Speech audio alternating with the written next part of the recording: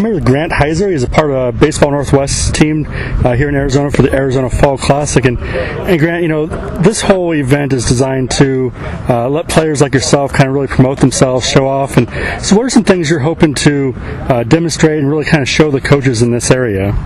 Um, definitely, probably arm strength because that's what I feel like my biggest tool is. And then, um, obviously, like uh, I can't really show speed right now because my hamstring, but um, like uh, hitting for contact, uh, situational hitting, and then just being a, like a, a, team player. You know, I mean, even at these showcase events, you can show that uh, that you're part of the team, that you you're there for your teammates you know, you mentioned your hamstring, you tweaked it, but yet, you know, even in this game, you've had, you know, three hits and kind of hobbled out a triple. But, uh, you know, focusing on, on that contact aspect of it, um, is that something, even though you're, you're injured, does it kind of help you to refocus on what you're doing at the moment?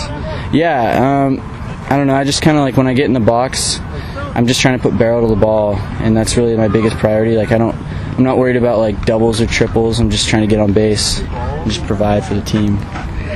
And then, you know, even though you're, you know, at this showcase for a lot of, you know, four-year schools, D1 schools, uh, you've already have a, a, commitment into Tacoma Community College, which uh, is one of the powerhouse programs of, of the NWAC. Uh, so, kind of what led you to choose Tacoma, and uh, you know, what just really led you to that team?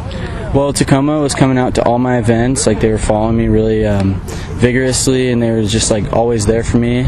And I'd like turn around in a game and I'd see a TCC scout or Ryan or or anybody there, Coach Hinkle, and they were all just like there for me. I guess they really wanted me. They expressed that, and so I just I picked there. You know, and, and to make it to that level, you know, the NWAC is you know pretty competitive league. You know, you don't just get there by luck, not by chance. It takes a lot of time and effort, and and people pushing you as well. Who in your life's been that inspiration and that motivating factor to get you to where you are? Definitely my stepdad. He's basically my real dad. Um, he's always telling me like work for what you want and uh, be prepared. Just like all the morals that I take with me today. Yeah. And then, you know, for a lot of young players, you know, you watch baseball growing up and you see major leaguers, and, uh, you know, sometimes you'll see a player and be like, I, I, love their attitude, love their style.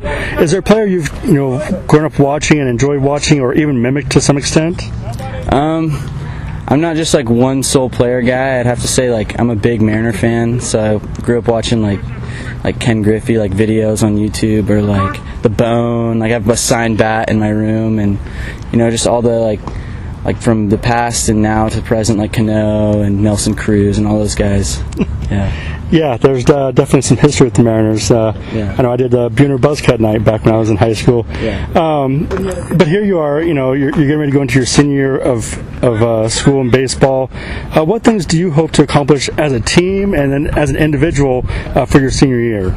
Um, as a team, I just want to go as far as we can. You know, it's my last year, senior year. I want to go out with a bang and uh, I want to like have good I don't know, team camaraderie and just go as far as we can.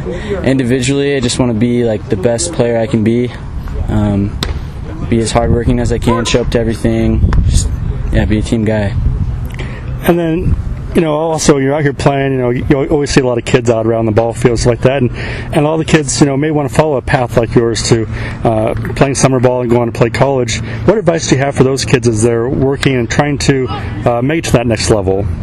I'd have to say, no matter who's watching you, always play at your best and your hardest, because it could be the last day you play baseball, and you never know what eyes are on you or what scouts are in the stands. So just play as hard as you can and shake off the shake off the bat and focus on the good.